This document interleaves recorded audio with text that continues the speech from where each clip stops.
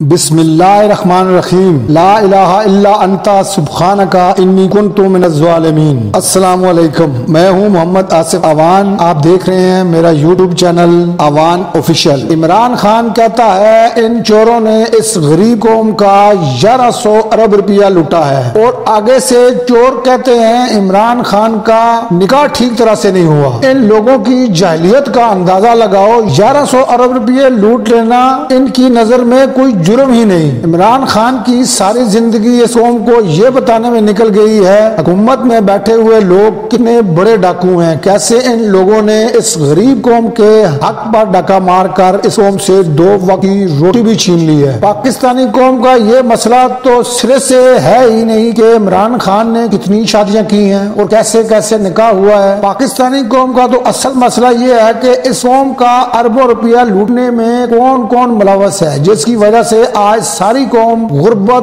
بے روزگاری اور مہنگائی کی چکی میں پیس رہی ہے۔ یہ لوگ جتنا مرضی ہے اس قوم کو اصل مسئلے سے ہٹا لیں، مگر پھر بھی پاکستانیوں نے ان لٹیروں سے ایک ہی سوال پوچھنا ہے کہ ہمارے نام پر لیا گیا اربوں خربوں روپیوں کا قرضہ کہاں گیا؟ جس کا ان چوروں کے پاس کوئی جواب ہی نہیں، تو پھر عمران خان کی ذات پر حملہ کرنا شروع کر دیتے ہیں۔ آج سپریم کورٹ نے بھی اسٹیٹ بینک کو الیکشن کے لیے اکیس ارب روپے جاری کرنے کا حکم دے کر ان چوروں کی ساری محنت مٹی میں ملا دی ہے۔ اب ان چوروں کی رات کی نیند حرام ہو چکی ہے۔ الیکشن کا نام سن کر ان نائل حکمرانوں کو مرگی کے دورے پڑنے شروع ہو جاتے ہیں۔ جب تیرہ پارٹیوں کے ورداتی کچھ اور نہیں ڈھونڈ کے لا سکتے تو ایک بکاؤ مولوی کو لے کر آئے ہیں جو کہتا ہے عمران خان کا نکاح ٹھیک نہیں ہوا۔ اور اس کریکٹر لیس مولوی کے تو اب کسے کھل کھل کر ساری قوم کے سامنے آ رہے ہیں کہ یہ اندر سے کتنا گھٹیا اور ذلیل انسان ہے۔ اگر اس ملک کی اسٹیبلشمنٹ واقعی میں نیوٹرل ہوتی تو کب کہ یہ حکومت میں بیٹھے ہوئے وارداتی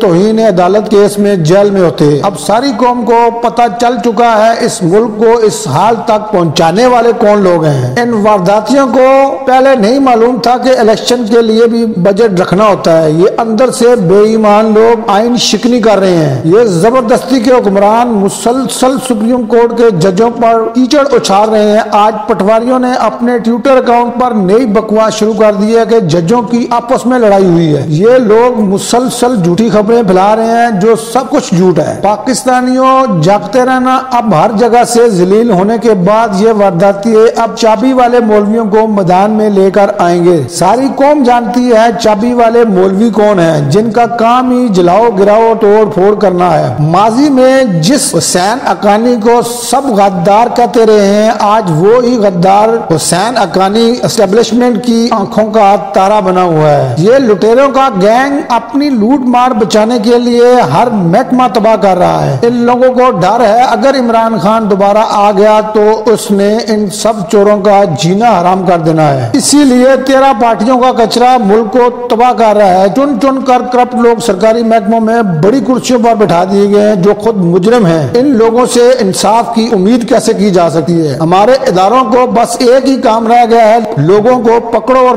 ننگا کر کے ان کے اوپر تشدد کرو اور ان کی ویڈیو بناؤ۔ یہ ملک تباہی کے دھانے پر کھڑا ہے۔ پاکستانیوں اب بھی وقت ہے، نکلو باہر۔ اپنے حق کے لیے نہیں تو ساری زندگی کا پچھتاوا رہ جائے گا۔ یہ لوگ صرف لوٹ مار کرنے آئے ہیں۔ یہ لوگ مسلسل انسانیت کی توہین کر رہے ہیں۔ کب تک اسی طرح بزدلوں اور ان چوروں کے آگے غلام بنے رہو گے؟ یہ ڈاکوؤں کا ایک گینگ اس ملک کے اوپر مسلط ہے۔ ایک دفعہ ترکی کی عوام کی طرح ان ظالموں کے آگے کھڑا تو ہونا ہوگا۔ اب فیصلے ہم لوگوں کو کرنے ہیں۔ اس کے لیے اب ساری قوم کو تیار رہنا چاہیے۔ اسی بات کے ساتھ آپ سے اجازت چاہتا ہوں، دعاؤں میں یاد رکھیے گا۔ اپنا اور اپنے آس پاس کے لوگوں کا بہت سارا خیال رکھیے گا اور میرے چینل کو سپورٹ کر کے مجھے مزید بولنے کا موقع دیجیے گا۔ وسلام اللہ آپ کا حامی و ناصر ہو۔ اللہ